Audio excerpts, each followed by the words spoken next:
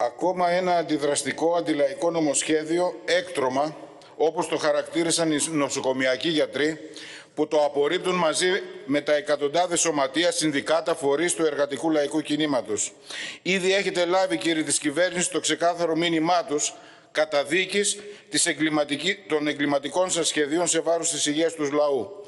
Μεταφέρουμε και από αυτό το βήμα και ενώνουμε τη φωνή μας μαζί τους και απαιτούμε για ακόμα μία φορά, κυρία Υπουργέ, την απόστρεψη του νομοσχεδίου. Πρόκειται για γιατρούς λοιπόν, αλλά και τους νοσηλευτές, τους υγειονομικούς στα δημόσια νοσοκομεία, στις δημόσιες δομές, εργαζόμενος σε αυτές που με αυταπάρνηση και ανιδιοτέλεια δίνουν καθημερινά τη μάχη στο πλευρό των ασθενών, γεγονός που απέδειξαν περίτρανα την περίοδο της πανδημίας. Και τώρα σας στέλνουν το μήνυμα πως δεν θα αφήσουν τους ασθενείς να γίνουν βορρά στα κοράκια της υγείας. Δεν θα τους εγκαταλείψουν, δεν θα τους αφήσουν ανυπεράσπιστους την ώρα της αρρώστιας, την ώρα της ανάγκης, επειδή δεν έχουν να πληρώσουν. Όπως και ότι δεν δέχονται να ενισχύσουν το εισόδημά τους από το ειστέρημα των ασθενών του λαού που υποφέρει από την ακρίβεια, την ενεργειακή φτώχεια, την ανεργία, τους λαιλατημένους μισθούς. Απορρίπτουν τη λογική του όποιος δεν έχει να πληρώσει δεν θα επιβιώνει. Διεκδικούν και απαιτούν αποκλειστικά δημόσια και δωρεάν υγεία για όλο το λαό και δεν τρομοκρατούνται από τον αυταρχισμό, τα διαδηλωτοδικεία που έχετε στήσει σέρνοντας στα δικαστήρια αυτούς που αγωνίζονται, διότι δεν συμμορφώνονται προς τα υποδείξεις. Είναι οι υγειονομικοί για τους οποίους χύνατε κροκοδίλια δάκρυα και χειροκροτούσατε την περίοδο της πανδημίας, στους οποίους όμως στέλνατε τα μάτια και τους ρίχνατε χημικά όταν κινητοποιούνταν, διεκδικώντας τι, λύσεις για την υγεία του λαού. Δημόσια και δωρεάν υγεία για όλο το λαό είναι η απέτηση του ίδιου του λαού, αλλά και το δίδαγμα της πανδημίας που μέχρι σήμερα έχει στοιχήσει 35.000 νεκρούς εξαιτίας της εγκληματικής σας πολιτικής στον χώρο της υγείας. Τρία χρόνια πανδημίας, στο ίδιο έργο θεατές είμαστε. Επικαλείστε συνεχώς ότι παίρνετε πρόσθετα μέτρα για την ενίσχυση του ΕΣΥ, για την αντιμετώπιση δήθεν των έκτακτων αναγκών της πανδημίας, πρόσθετα μέτρα που δεν προσθέτουν προσωπικό. Έτσι αντί να μονιμοποιηθούν, ξανά προσλαμβάνουν οι επικορικοί και οι συμβασιούχοι που λύγει η σύμβασή τους, προσλαμβάνουν οι συνταξιούχοι γιατροί, συνεχίζονται οι μετακινήσεις, ενώ οι μερικές εκατοντάδες προκηρύξεως θέσεων γιατρών είναι σταγόνας στον ωκεανό των χιλιάδων ελλείψεων και φυσικά σε αυτά προστίθεται και το κύμα παρετήσεων εξαιτίας της εντατικοποίησης, κακοπληρωμένης δουλειάς, των απλήρωτων εφημεριών, όπως και οι συνταξιοδοτήσεις που δεν αναπληρώνονται και όλα αυτά καλά κρατούν. Ολόκληρα τμήματα λοιπόν και κλινικές οδηγούνται σε ξαφνικό θάνατο, πολλά από τα οποία προσφέρουν εξειδικευμένες υπηρεσίες. Και απέναντι σε αυτή την κατάσταση, η κυβέρνηση φέρνει ένα νομοσχέδιο που υπηρετεί ξεκάθαρα τις ανάγκες των κερδών των μεγάλων κλινικαρχών και των μεγαθυρίων της ιδιωτικής υγείας, που μέσα στην πανδημία κερδοσκόπησαν άγρια αφήνοντας ανθρώπους να πεθάνουν. Συγχρόνως ανοίγεται επικίνδυνους νέους δρόμους με κατεύθυνση την περαιτέρω υποβάθμιση των παρεχόμενων υπηρεσιών υγείας, την παραπέρα ενίσχυση εμπορευματοποίησης της δημόσιας υγείας και της γιγάντωσης του ιδιωτικού τομέα. Αυτή ακριβώς την πολιτική είστε αποφασισμένοι να περάσετε δια και σιδήρου. Την πολιτική δηλαδή στήριξης των επιχειρηματικών ομίλων. Μάλιστα φτάνεστε στο σημείο προκειμένου να πείσετε και επικαλείστε την εφαρμογή των ίδιων μέτρων από άλλες προηγμένες υγειονομικά χώρες που δεν σημαίνει ότι είναι σε φιλολαϊκή κατεύθυνση και που η εμπειρία όμως της πανδημίας απέδειξε τη χρεοκοπία ακριβώς αυτών των επιχειρηματικών συστημάτων υγείας για την ικανοποίηση των λαϊκών αναγκών. Αποδεικνύοντας πως όπως και στη χώρα μας, πως η ανάπτυξη που έχει ως κριτήριο την ανταγωνιστικότητα και την κερδοφορία των επιχειρηματικών ομήλων, η παράλληλη ανάπτυξη του ιδιωτικού επιχειρηματικού τομέα στην υγεία και του δημόσιου με επιχειρηματικά κριτήρια και η εμπορευματοποίηση των εργασιών του, αντίστοιχα και οι συμπράξεις δημόσιο ιδιωτικού τομέα δεν αποτελούν λύση για το λαό. Πρόκειται δηλαδή για την πιστή εφαρμογή της στρατηγικής του κεφαλαίου και της Ευρωπαϊκής Ένωσης που είτε ως κυβέρνηση είτε ως αντιπολίτευση προωθείται και εφαρμόζεται διαχρονικά κομμάτι-κομμάτι και η Νέα Δημοκρατία και ο ΣΥΡΙΖΑ και το ΠΑΣΟΚ για λειτουργία των δημόσιων μονάδων με ιδιωτικο-οικονομικά κριτήρια, δηλαδή ως επιχειρήσεις που θα συνεπάρχουν με τους ιδιωτικούς ομίλους στην υγεία πρόνοια και θα καλύπτουν το κόστος λειτουργίας με την πώληση υπηρεσιών στους ασθενείς πελάτες και τα ασφαλιστικά ταμεία.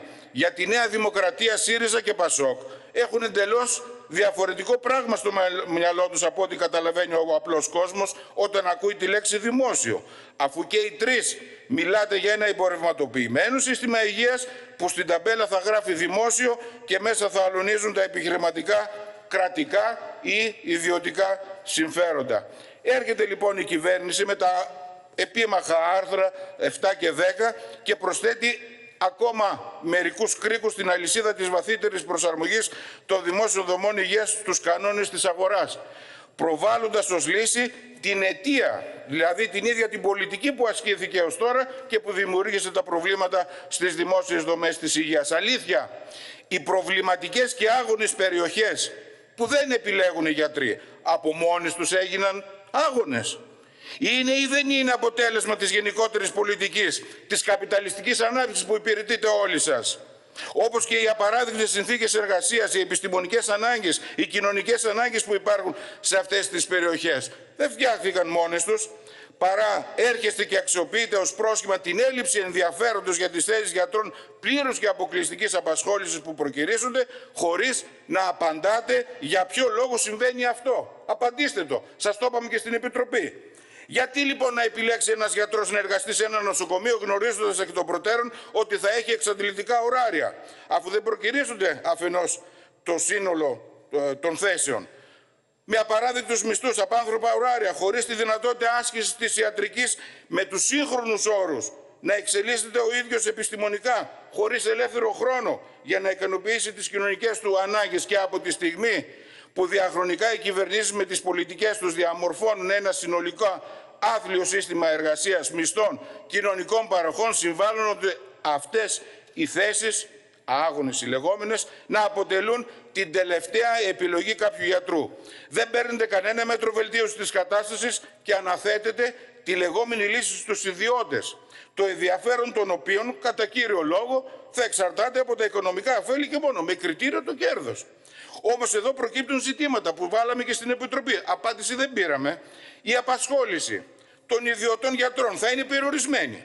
Οι ανάγκες όμως των ασθενών και των δημόσιων νοσοκομείων είναι πάγιες και διαρκείς. Πώς θα καλύπτονται τις ημέρες και τις ώρες της απουσίας των ιδιωτών γιατρών; Οι ανάγκες περίθαλψης, διάγνωση, νοσηλεία, θεραπεία, παρακολούθηση του αρρώστου, επιπλοκές του αρρώστου κτλ. Δεύτερον, τα ζητήματα της συνέχειας του επιστημονικού έργου, της συστηματικής παρακολούθησης των ασθενών. Πώς θα εξασφαλίζονται, με γιατρούς επισκέπτες που το βλέμμα τους θα είναι στην κύρια δουλειά του ιδιωτικού τομέα, του ιδιωτικού ιατρίου.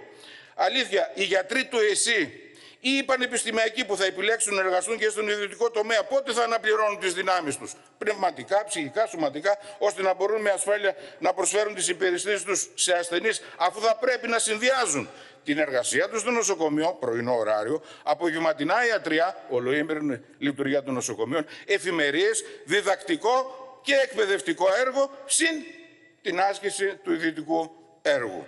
Δημιουργείται ακόμα περισσότερο λοιπόν πρόσφορο έδαφος ώστε να αξιοποιείται το νοσοκομείο ως δεξαμενή άντληση πελατείας με τους ασθενείς πελάτες να εκβιάζονται την ώρα της ανάγκης να βάζουν το χέρι βαθιά στην τσέπη. Διαφορετικά θα συνεχίζουν να υφίστανται το καθεστώς των τεράστιων αναμονών για τα πρωινά ιατρία, θέτοντας σε κίνδυνο την υγεία τους, ενδεχομένως και την ίδια τους τη ζωή. Ουσιαστικά αυτό που θεσμοθετείται είναι το επίσημο και νόμιμο πλιάτσικο στους ασθενείς που ένα μεγάλο μέρος των αναγκών τους δεν μπορεί να ικανοποιηθεί έγκαιρα ή καθόλου λόγω της άθλιας κατάστασης των δημόσιων νοσοκομείων. Το δε επιχείρημα που περί δυνατότητας ελεύθερης επιλογής που το έχετε κάνει καραμέλα αυτές τις μέρες. Είναι και εξοργιστικό, αλλά συγχρόνως βγάζει όλο τον κινησμό της πολιτικής που εφαρμόζεται και εσείς όπως και οι προηγούμενοι, οι προηγούμενες κυβερνήσεις, υπηρετώντας πιστά αυτό το απάνθρωπο σύστημα. Αλήθεια, απαντήστε όλοι σας, πόσο ελεύθερος είναι να επιλέξει έναν γιατρό, είναι ο άνεργος, ο χαμηλοσυνταξιούχος, ο εργάτης που αμείβεται με εξευτελιστικούς μισθούς, ο ανασφάλιστος, το άτομο με ειδικές ανάγκες που μόνο για να βρουν ραντεβού στο 1535 χρειάζονται μήνες. Με αυτό λοιπόν το άθλιο σύστημα υγείας που έχετε διαμορφώσει όλοι σας. Τι του λέτε λοιπόν τώρα, αν θέλεις να βρεις γιατριά, πλήρωσε. Βάλε βαθιά το χέρι στην τσέπη, διαφορετικά. Περίμενες στις ατελείωτες λίστες των ε, εξωτερικών ιατρίων των δημόσιων νοσοκομείων είτε στις τεράστιες λίστες των χειρουργείων. Μάλιστα το θράσος σας φτάνει στο σημείο να παρουσιάζεται πως δίνεται δυνατότητα της επιλογής σε όσους το επιθυμούν και έχουν να πληρώσουν για την υγεία τους. Μέχρι αυτό το σημείο φτάσατε. Δηλαδή να ντρέπεται και η ίδια η ντροπή. Ομός εκβιασμός στους ασθενείς. Εκβιασμό και στους γιατρούς όμως του δημόσιου συστήματος υγείας. Αφού τους στέλνετε στην ουσία, τους πρόχνετε, αν και εφόσον θέλουν, όπως λέτε, να ενισχύσουν το εισόδημά τους, να βγουν στην ουσία παγανιά, δηλαδή στην πιάτσα της αγοράς και να χρησιμοποιήσουν ως δεξαμενή πελατείας τα δημόσια νοσοκομεία. Και φυσικά θα έρθετε μετά και θα τους πείτε αν τυχόν διεκδικούν καλύτερους συνθήκων ή κυρίως μισθολογικές αναβαθμίσεις, αύξηση μισθών, ότι σου έδωσα λέει, τη δυνατότητα. Αυτό θα απαντάτε. Σου έδωσα τη δυνατότητα αρμέγοντας τους ασθενείς και θα μετατεθέτετε την ευθύνη στους ίδιους τους γιατρούς που δεν την αξιοποίησαν. Μάλιστα, η εφευρετικότητά σας δεν έχει και όρια. Τώρα, με πρόσχημα, όπως αναφέρεται στο άρθρο 3, απόκτηση κλινικής εμπειρίας των αγροτικών γιατρών, ώστε να ανταποκριθούν με επάρκεια στα καθήκοντά τους, έρχεστε και αξιοποιείτε ανειδίκευτους γιατρούς προκειμένου να μπαλώσετε όπως όπως τρύπες εξαιτίας των τραγικών ελλείψεων σε ειδικευμένους γιατρούς αλλά και σε ειδικευόμενους. Στην ουσία, με το συγκεκριμένο άρθρο, ρύθμιση, η κυβέρνηση έχει ως στόχο την εξασφάλιση φθηνού εργατικού δυναμικού για τα νοσοκομεία. Όμως ακόμα και αν υποθέσουμε πως η κυβέρνηση έχει καλές προθέσεις, ενδιαφέρεται για την ποιότητα των παρεχόμενων υπηρεσιών στα κέντρα υγείας, στα περιφερειακά ατρία, από τους αγροτικούς. Το βάλαμε και στις επιτροπές και θέλουμε μια απάντηση. Ποιος θα εκπαιδεύσει αυτούς τους αγροτικούς; Στο κασίδι το κεφάλι θα εκπαιδεύονται, δηλαδή του λαού το κεφάλι θα αποκτήσουν κλινική εμπειρία. Και αν ενδιαφέρεστε για την απόκτηση κλινικής εμπειρίας, γιατί, σας το είπαμε, σας το προτείναμε. Γιατί δεν αναβαθμίζετε το περιεχόμενο των προπτυχιακών σπουδών. Αν ενδιαφερόσατε ενός κυβέρνηση και εσείς, όπως και οι προηγούμενοι δηλαδή, για την ποιότητα των παρεχόμενων υπηρεσιών στην πρωτοβάθμια, και όχι μόνο, αλλά στην πρωτοβάθμια φροντίδα υγείας, θα αυξάνονται την κρατική χρηματοδότηση στην υγεία. Θα προχωρούσατε σε μαζικέ προσλήψεις γιατρών, όλων των αναγκαίων ειδικοτήτων. Θα αναπτύσσετε όλες τις απαραίτητες υποδομές. Θα ενισχύετε με σύγχρονο εξοπλισμό και άλλα. Και το ότι δεν το κάνετε κι εσείς, όπως και όλες οι προηγούμενες κυβερνήσεις, είναι διότι ταυτίζεστε στη βασική στρατηγική αντίληψη ότι και ο τομέας της υγείας όλων των επιπέδων της δημόσιας υγείας αποτελούν κόστο. Κόστος, κόστο, κόστο, κόστος ανεπίτρεπτο για το αστικό κράτος. Άρα πεδίο περικοπών των δαπανών και των παροχών τόσο από το κράτος όσο και από τον ΕΟΠΗ που είναι και απαραίτητη προϋπόθεση για την ανάπτυξη την καπιταλιστική που υπηρετείται. Μάλιστα, ομολογείται απροκάλυπτα πως δεν είστε διατεθειμένοι να διακινδυνεύσετε ούτε στο ελάχιστο την περίφημη δημοσιονομική σταθερότητα που από κοινού Νέα Δημοκρατία, ΣΥΡΙΖΑ, ΠΑΣΟΚ ψηφίσατε και υλοποιείτε, αφού είναι ένας όρος απαραίτητος για να συνεχίσουν τα τρελά κέρδη των λίγων. Να γιατί λοιπόν δεν περισσεύουν λεφτά για την υγεία του λαού και για αξιοπρεπείς μισθούς των υγειονομικών. Γιατί δίνονται απλόχερα για τις business των επιχειρηματικών ομίλων, του ΝΑΤΟ ή όποιον άλλον κάνει γνωστές αγαθοεργίες πολέμους, δηλαδή πληστηριασμούς, κατασχέσεις σπιτιών και άλλα. Να γιατί ακόμα και να θέλατε, που δεν θέλετε, δεν μπορείτε να ενισχύσετε το εισόδημα των γιατρών, των, των, ε, των υγειονομικών, δεν αυξάνετε τους μισθούς, δεν εφαρμόζετε τις τελεσίδικες αποφάσεις του Συμβουλίου της Επικρατείας και του Αρίου Πάγου για επαναφορά των μισθών στα επίπεδα του 2012, επαναφορά του 13ου και 14ου μισθού, δεν προσλαμβάνετε προσωπικό. Έτσι με τον μισθολόγιο που προτείνεται στο νομοσχέδιο, οι ελάχιστες αυξήσεις που προβλέπονται αφενός δεν αποκαθιστούν το πετσοκομμένο εισόδημα των τελευταίων τουλάχιστον 10 χρόνων, αφετέρου εξανεμίζονται από την ακρίβεια και την άγρια φορολογία. Παράλληλα, το συγκεκριμένο μισθολόγιο έρχεται να συμβάλλει πώς; Και στη διαμόρφωση αφενός με φτηνού επιστημονικού δυναμικού ώστε να συγκρατούνται τα λειτουργικά έξοδα των υποχρηματοδοτούμενων από το κράτος δημόσιων μονάδων υγείας με κριτήριο την επιχειρηματική τους λειτουργία, ενώ συγχρόνως ενισχύεται η πίεση της κυβέρνησης προς τους γιατρούς για άσκηση ιδιωτικού έργου και ενίσχυση του εισοδήματός τους από τις πληρωμές των ασθενών.